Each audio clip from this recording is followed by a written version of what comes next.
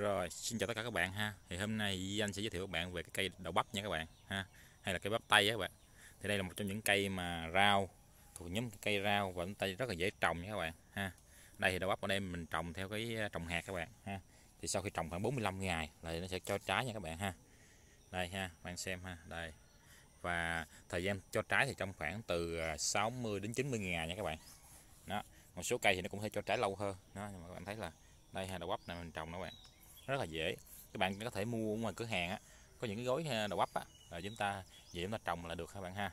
Nè nó chúng ta ươm hạt sau đó chúng ta à, để ha và nó nó ít bị sâu bệnh lắm bạn.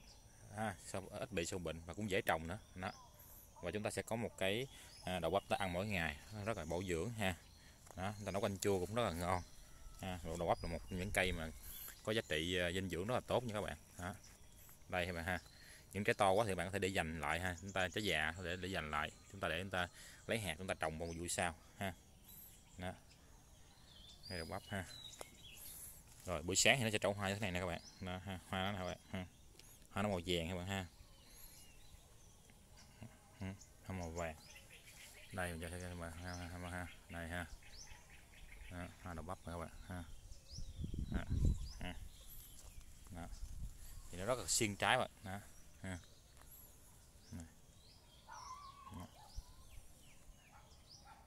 Đó hoa đây. Chiếu gần bạn xem cái hoa của đó nha. Hoa rất là đẹp ha. Đây ha. Đẹp lắm. Hoa hoa đậu bắp nha bạn. Đẹp lắm ha. Đó. Ha. rồi, trái ở đây. Ha. Đó.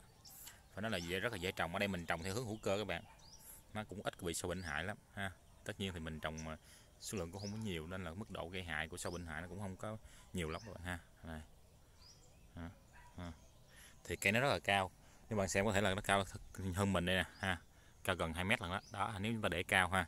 Tuy nhiên thì mình khuyên các bạn chúng ta nên à, cắt ngọn ha. Khi nó cao khoảng chừng mét rưỡi chúng ta cắt cái ngọn đi cho nó ra cành mới nhiều cành ha.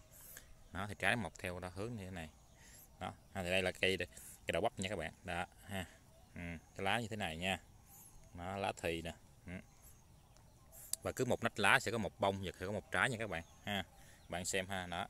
trái một vô thân như thế này, ha. Một một nách lá, ha. Ở ngay nách lá sẽ có một trái, ha. Một bông. Đó, ha. Rồi.